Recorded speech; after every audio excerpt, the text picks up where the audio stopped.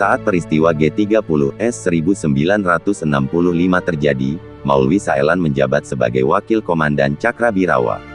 Dialah orang yang terus mendampingi Bung Karno selama dua hari terkelam sejarah politik Indonesia, mulai tanggal 30 September hingga tanggal 1 Oktober tahun 1965.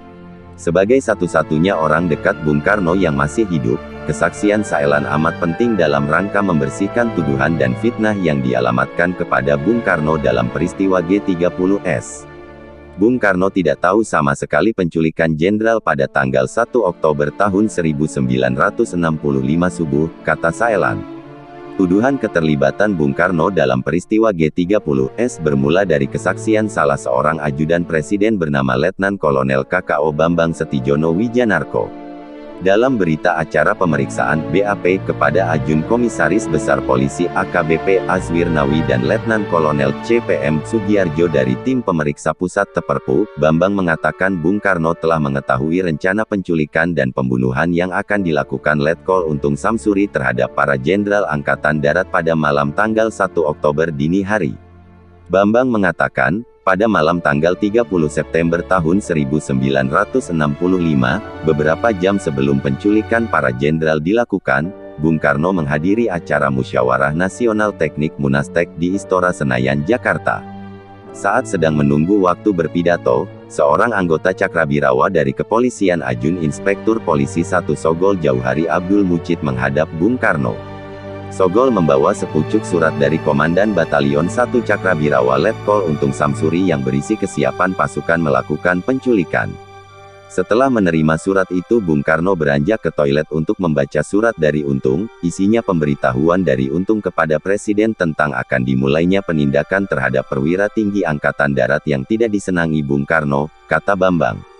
Tuduhan Bambang semakin liar. Dia menyebut pada tanggal 4 Agustus tahun 1965, dua bulan sebelum G30S terjadi, Bung Karno sempat mengadakan pertemuan khusus dengan Komandan Resimen Cakrabirawa Brigadir Jenderal Sabur dan Letkol Untung di Istana. Kepada keduanya, Bung Karno meminta agar segera diambil tindakan kepada para-para jenderal yang tidak loyal.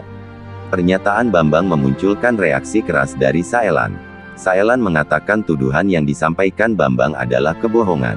Menurut Saelan, pada malam tanggal 30 September tahun 1965 dirinya terus mengawal Bung Karno di acara Munastek. Selama menjaga Bung Karno, dia tidak melihat ada anggota Cakrabirawa yang datang mendekati Bung Karno. Selain itu, tambah Saelan, Bung Karno juga tidak pernah meninggalkan kursinya hingga masuk sesi pidato. Saya yang terus mendampingi Bung Karno dan tidak pernah meninggalkannya walaupun sebentar tidak melihat kedatangan pelayan Sogol yang menitipkan sepucuk surat yang katanya dari untung untuk diserahkan kepada Bung Karno, kata Saelan menegaskan. Saelan mengatakan, terdapat sejumlah kejanggalan dari kesaksian Bambang. Menurutnya tidak mungkin seorang perwira militer sekelas untung menitipkan surat dengan tingkat kerahasiaan tinggi kepada seorang pelayan seperti Sogol. Selain itu, Teperpu juga tidak pernah memeriksa Sogol atas kesaksian yang disampaikan Bambang. Soal pertemuan Bung Karno dengan Sabur dan Untung pada tanggal 4 Agustus tahun 1965 juga dibantah Saelan. Menurutnya pada tanggal itu Sabur dan Untung sedang tidak bertugas di istana. Sehingga sangat tidak mungkin pada hari itu mereka berdua bertemu presiden di istana. Apalagi sampai Bapak langsung memberikan penugasan untuk menculik, ujar Saelan. Yang membuat hati Saelan miris, tuduhan Bung Karno terlibat G30S tidak disampaikan musuh Bung Karno. Tuduhan itu justru disampaikan ajudan yang amat disayangi Bung Karno. Ya, sebelum peristiwa G30S meletus, Bambang merupakan ajudan kepercayaan Bung Karno. Boleh dikata Bambang adalah anak emas Bung Karno. Iya dia anak emas Bapak, kata Saelan. Saelan sendiri baru mengetahui tuduhan Bambang selepas keluar dari penjara. Dia mengaku sempat menghubungi Bambang untuk meminta penjelasan atas keterangannya di BAP. Kamu kok menulis seperti itu tentang Bapak? Maksudnya apa? Tanya Saelan kepada Bambang. Saya ingin kita bertemu, tambah Saelan. Ajakan Saelan bertemu tidak pernah dipenuhi Bambang. Saelan menceritakan dirinya sempat diminta menandatangani BAP yang sudah dibuat Teperpu. Saelan menolak. Dia menilai isi BAP mendiskreditkan dan memojokkan Bung Karno dalam peristiwa G30S. Bahkan BAP itu jelas-jelas menuduh Bung Karno sebagai dalang G30S. Gara-gara tidak mau tanda tangan saya di penjara selama 4 tahun 8 bulan, ujar Saelan. Belakangan Saelan tahu kenapa Bambang rela membuat tuduhan keji kepada Bung Karno.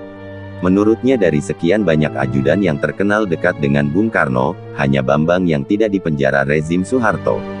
Mereka yang lain seperti Brigadir Jenderal Sabur yang menjabat sebagai Komandan Cakrabirawa di penjara. Letnan Kolonel Polisi Mangil Martowi Jojo yang menjabat Komandan Detasemen Kawal Pribadi Cakrabirawa ditahan selama tiga setengah tahun. Letnan Kolonel Suprapto, pengemudi mobil kepresidenan ditahan lima tahun. Letnan Kolonel Infantri, Ali Ebram yang menjabat sebagai asisten intelijen resimen Cakrabirawa ditahan 12 tahun. Sedangkan Saelan sendiri ditahan 4 tahun 8 bulan. Sekarang saya mengerti kenapa hanya Bambang satu-satunya orang yang tidak dipenjara, katanya. Kesaksian Bambang yang tidak akurat dan bahkan cenderung mengada-ada memang menarik untuk dicermati. Pasalnya, pemeriksaan terhadap Bambang baru dilakukan pada akhir 1970. Alhasil, kesaksian Bambang soal keterlibatan Bung Karno dalam peristiwa G30S muncul setelah Bung Karno wafat pada Juni tahun 1970. Spekulasi yang berkembang menyebutkan pemeriksaan Bambang sengaja dibuat terlambat agar tidak bisa dikonfrontir dengan Bung Karno. Pengakuan Bambang bukan fakta. Seluruhnya karangan yang dibuat untuk mencari-cari kesalahan Bung Karno, kata Saelan menyayangkan terbitnya buku-buku yang merujuk kesaksian Bambang.